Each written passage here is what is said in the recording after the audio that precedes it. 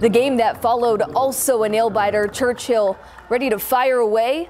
Madison ready to crown themselves kings.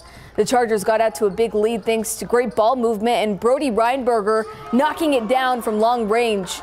But the Mavericks stormed right back in the second half. Davion Huff putting on a show. He gets the bucket and the foul. Madison held on to win it.